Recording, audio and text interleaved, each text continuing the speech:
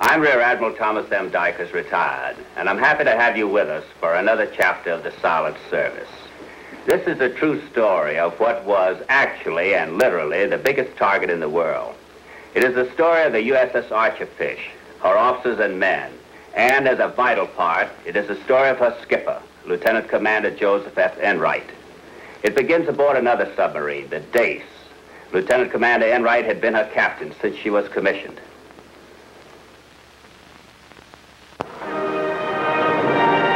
Now, late in October 1943, Dace is at Pearl Harbor, waiting only for her captain to come aboard with final orders before shoving off on patrol. Here comes the skipper. Now we'll get to work. What we draw, Captain? Well, the Admiral handed us a nice, juicy plum. Dace goes on combat patrol south of Honshu with special attention given the shipping lanes off Kyushu and the Takara Gunto group. Why, it'll be like shooting fish in a barrel. I hope so. But don't forget, these fish can shoot back. But they sort of have good hunting. Every sub patrol in that area sunk plenty of Japanese shipping. All right, boys, let's get underway. So Dace and her crew left Pearl with high hopes, and a month later found her patrolling her assigned area south of Honshu. Her hopes were still high, but her score? A large goose egg. Zero. She hadn't fired a single one of her torpedoes. Radar is Captain. Getting that ship launcher on the time.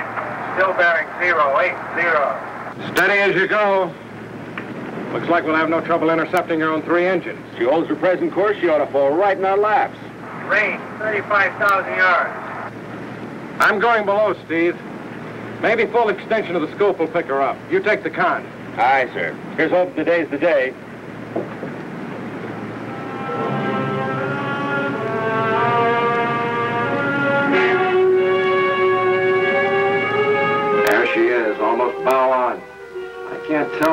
Freighter or a tanker at this angle.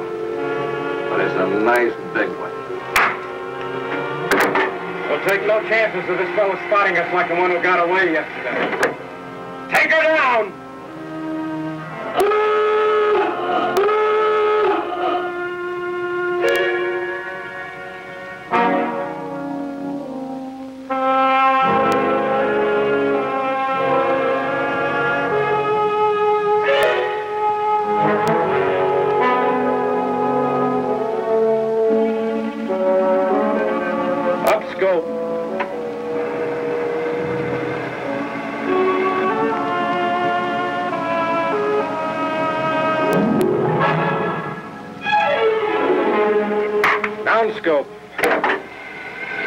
Just again. Away from us. He's altering his course every five minutes exactly. Well, his next zig ought to be toward us in exactly five minutes. That's what I'm figuring. Ready all tubes, stand by forward. Set all torpedoes depth 20 feet, speed high. Use a target length of 600 feet in calculating the spread. Aye, sir. Get that can of paint ready, Chief. You'll be putting your silhouette on our conning tower before chow call. Aye, aye, sir.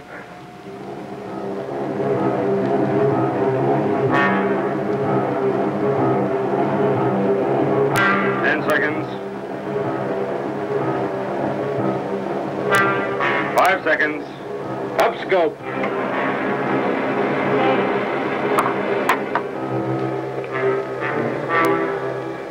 All right. He's zigged away. Take a look.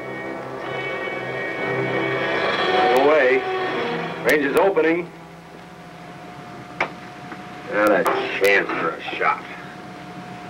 Can we catch him, Captain? It's not a prayer, Steve. He's making better than 22 knots. Down scope. That's the fourth target we've lost at the last minute.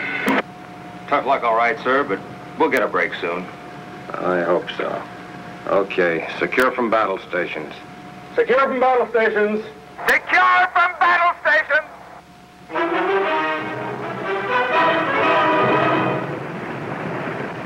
Trigger say six enemy ships, including that carrier in this area.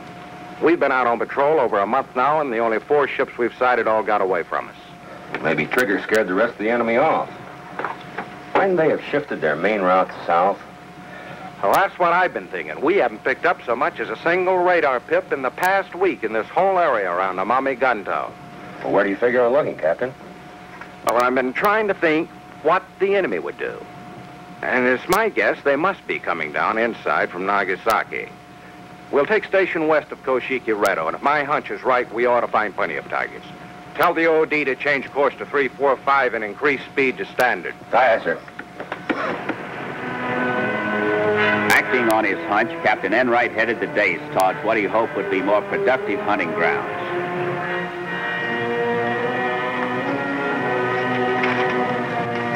ComSubPac to all submarines. Trigger trailing very large convoys, six troop carriers, two tankers, and heavy escort. Position 29 north, 135 east. Course 155.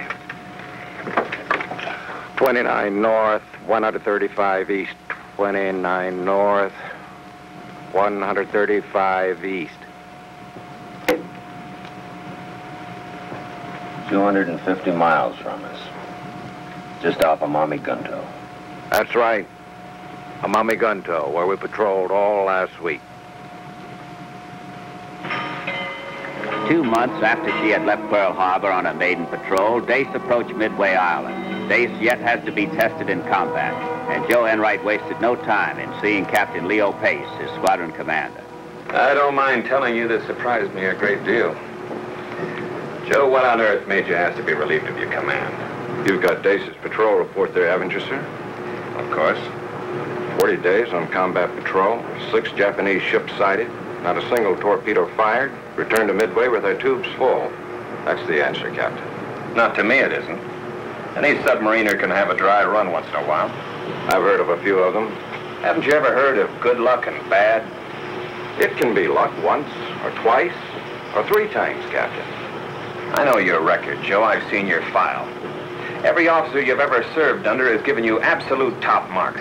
Now, I'm not going to embarrass you by quoting what they've said, but you know they don't do any snow jobs on those fitness reports. Are you trying to tell me they don't know what they're talking about? Those were peacetime reports, sir. Maybe I was hot stuff then, but that doesn't prove that I've got what it takes to be a good combat officer. Doping out the enemy's strategy, outguessing it. That's the skipper's job. That's where I goofed every time. Believe me, Captain, this is no snap decision. I've had plenty of chances to think it out. Dace can't help win the war under a skipper who guesses wrong 100% of the time. Give her a captain who'll put a fine ship and a great crew where there'll be some use. I'm sorry, sir, but my request for other duty still stands. All right, Joe.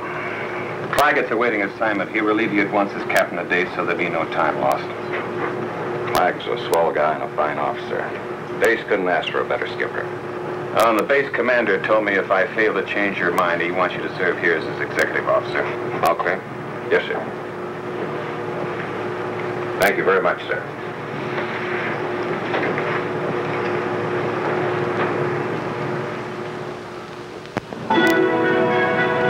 There was enough work on Midway in which Commander Enright could lose himself. There was always enough work, and never enough men.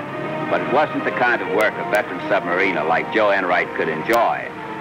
Even Midway's famous Goonie birds didn't make him forget where he really belonged, on the bridge of a submarine.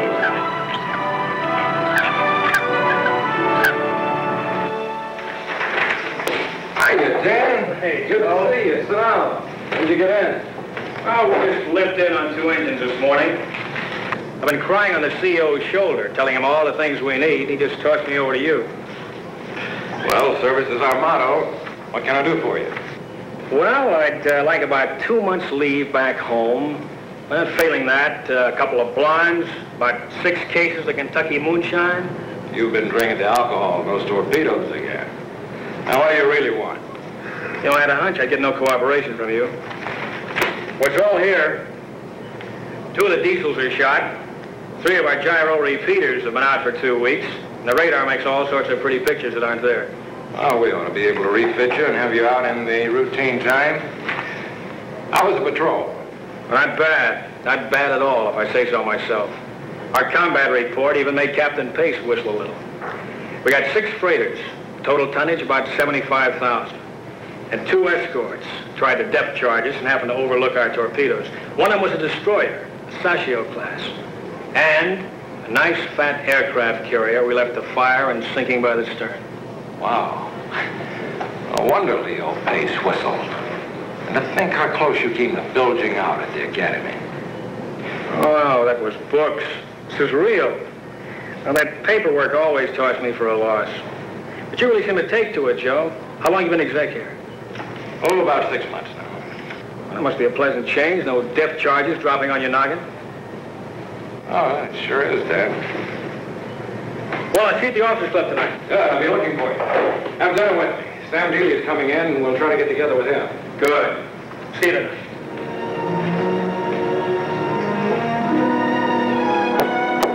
Joe, good to see you again.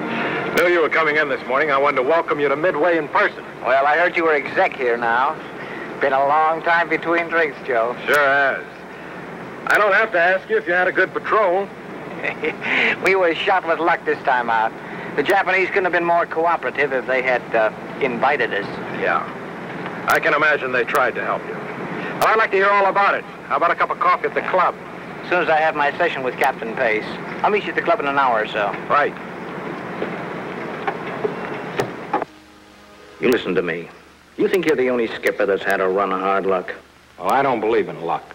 Joe, you know you're as good a skipper as I am any day in the week. You've served under plenty of the same officers. And your fitness reports are better than mine, if anything. Oh, Sam, fitness reports don't mean everything. Right? But Dace and Harder were alongside each other in Australia two months ago. I talked to some of your old crew. From your exec on down, they swear by you. Sam, you sure you're not just giving me a fight talk? On my word, Joe. Everything I've told you is the truth. Don't you think you ought to reconsider? Oh, Why, hello, Sam. I didn't know you were in. Hello, Pete. How are you? Good to see you. How have you been? Fine. Sit down. Hello, Joe. Yeah, I've got a few minutes before I can see the CO with this stuff. Say, you uh, you better hurry up and refit Sam and get back to sea. Oh? Some lucky submariner's going to get a chance at the biggest target in the world, according to our intelligence. What do you mean? Well, Air Recon just brought back some photos of Shinano on the waves in the Tokyo Navy Yard. What's Shinano? Super battleship. They've been converting it into the largest aircraft carrier ever built. Intelligence estimates her at between 60 and 70,000 tons. 60,000 tons. That's three times as big as the Oklahoma. The Air Force has been trying to get a shot at her in their Tokyo raid. Well, that's why we think the Japanese will try and move her to a safer spot as soon as she's ready to put to sea. Now, from the photo, it looks as if they might make the attempt within the next few months. Man, I give my right arm for a shot at that. Well, I gotta get going. I'll, uh, I'll see you tonight, huh? Yeah. Say, how about a drink at the club? Fine. See you about eight. Right. So long, Joe. And so long, Pete. 60,000 tons. Playing poker tonight with us? Yeah, sure. First, I think I'll have a little talk with Leo Pace.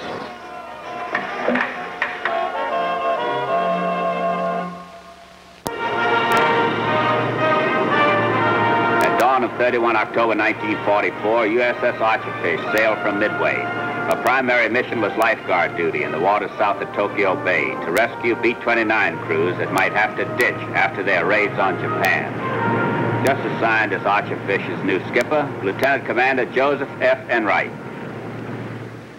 I've been meaning to ask you, Bobzinski. Uh, by the way, am I pronouncing that right? Just call me Bob, so everybody else does. Okay, Bob then. Just what kind of a fish is an archerfish? I thought I knew them all, but that's a new one on me. It's a small fish, Captain, and it spits water and insects on branches. So when they're knocked off into the water, the archerfish can eat them. You're joking. No, on the level. Hey, take a look at that. One of our boys in the torpedo room drew it. Well, let's hope our archerfish can shoot a stream just as straight when the time comes. Oh, hello, Jack. I just finished opening my last mail from home, Captain. I've got a problem. Yeah. Any chance of our being in San Francisco two weeks from now? San Francisco? We ought to be on station south of Tokyo Bay, unless something goes mighty wrong. I'm sure going to be in trouble. Jack Boone, 622 Lamont Street, San Francisco.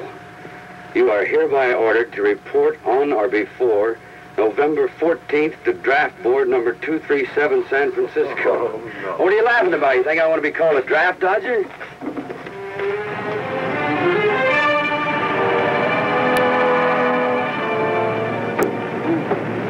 Answer from Guam to your message, sir. Good. No air raid scheduled. Archer Fisher's released for 48 hours to see what we can find. Well, that's a real break. 29 days of doing nothing but twiddle our thumbs has about got me down. We'll take a look around eastward past Nampo Shodo.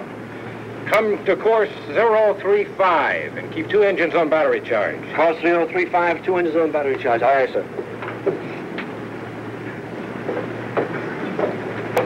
Radar's acting up again, sir. Request permission to put it out of commission to attempt repairs.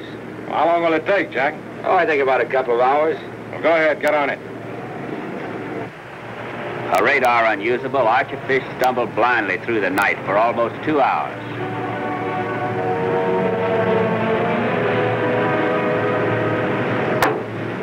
Are you coming? We've got a target. Bearing 028 true, range about 12 miles. You better fiddle with your radar some more, Jack. That's an island we've got in view from here, and your bearing's off about 20 degrees. Give me the bearing on that target again.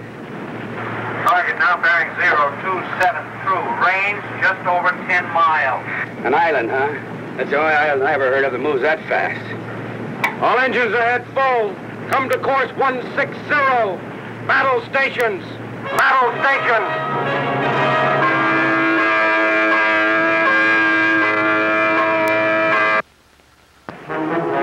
Moment every submarine skipper lives for. A target in sight, a smart ship, a full load of torpedoes. Range is staying the same, sir, or a little greater. She's on an almost parallel course, making more speed than we are.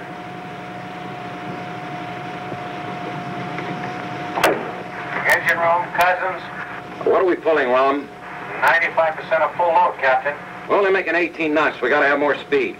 Boost them up to the full rated load. Aye, aye, sir. Any change in the target space course, Bob? No, sir. Still 195. Target speed? It's a shade on the 20. Engine room, Cousins. Romolo, throw away the rule book. Give me everything the engines have got.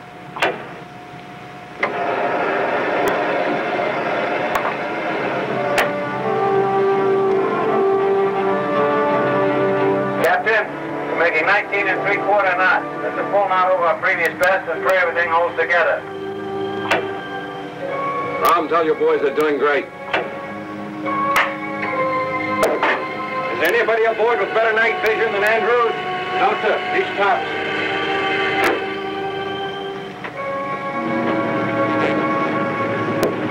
What do you make her, John? It's too big for a tanker, sir. She's a carrier. You sure? I'm positive, sir. Gordon, come up here.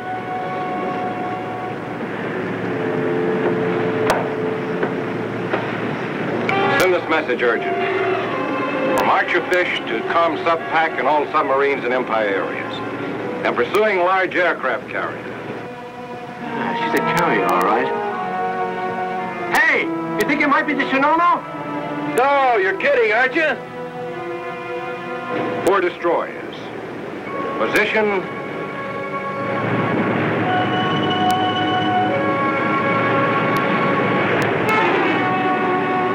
Admiral Lockwood at furled Archerfish. Keep after him, Joe. Your picture is on the piano.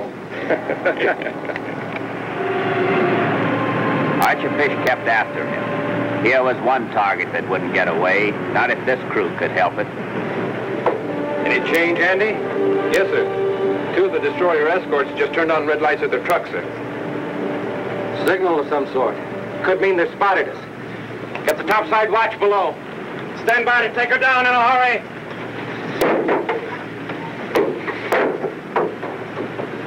Captain, they haven't seen us yet, and they won't, I'm sure of it. What makes you so certain? They just won't. Well, I hope your faith is justified. Well, you've outsmarted them so far, sir. I wouldn't have believed it possible to hold a target moving it out faster than we are if I hadn't seen it myself. They just don't cross us by changing their base course. Yes, sir. What time is it, sir? I've lost all track. Almost midnight. Captain, I think they've changed course toward us. Range closing rapidly. Hold present course. If target closes to within 12,000 yards, we'll dive for periscope approach. What's the time? Exactly old 300, sir. We've done it, sir. Five hours. Now we'll get a shot at her at last. Range 12,000. Speed 20. Still closing. Left full rudder. Head straight for the target. Left full rudder. Head straight for the target. Steady on course toward the target. Take her down! Ah!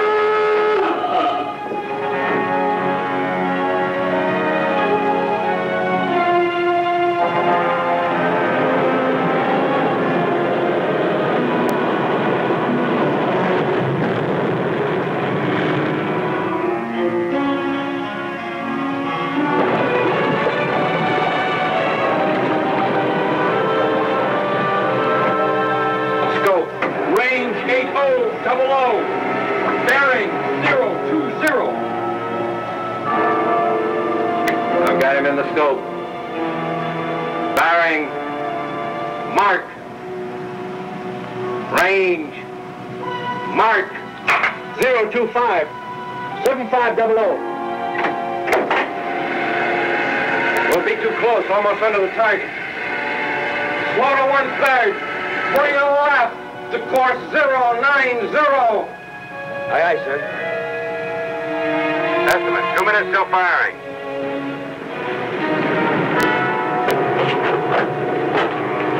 High-speed screws coming fast, sir.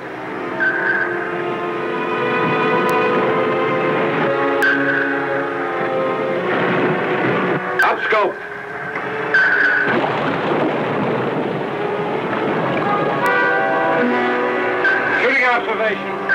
Torpedoes ready? All crew ready, sir. Depth set 15 feet. Range 1500. Hang on the bow. Starboard 85.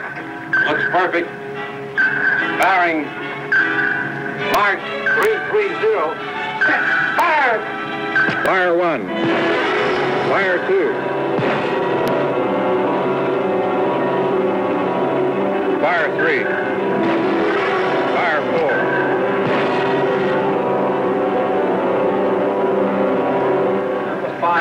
Fired electrically. Number six fired electrically. Estimate 45 seconds torpedo running time.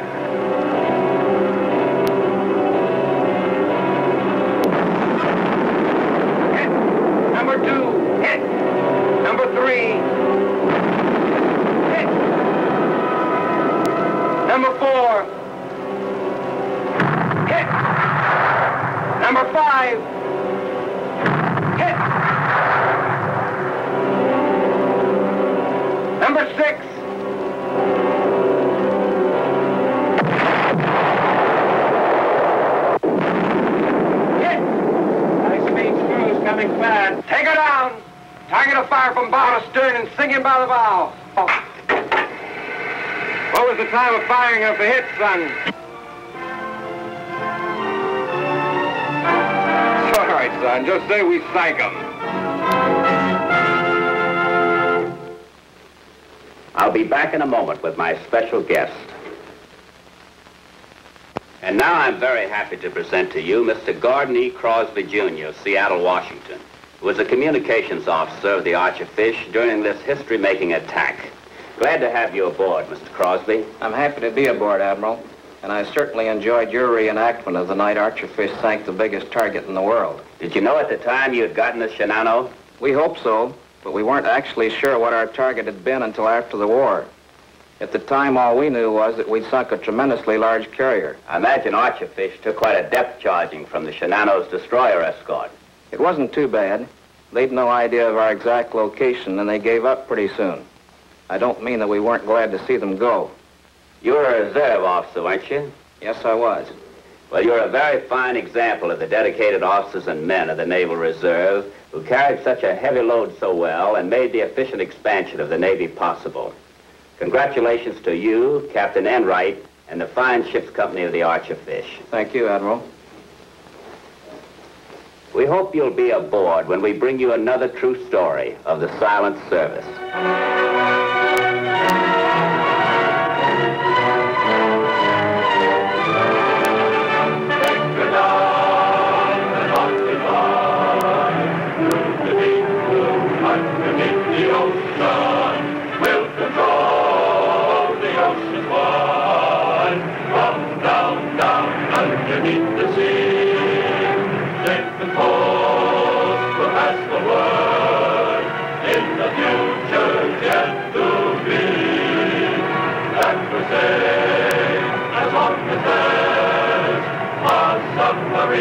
underneath the sea.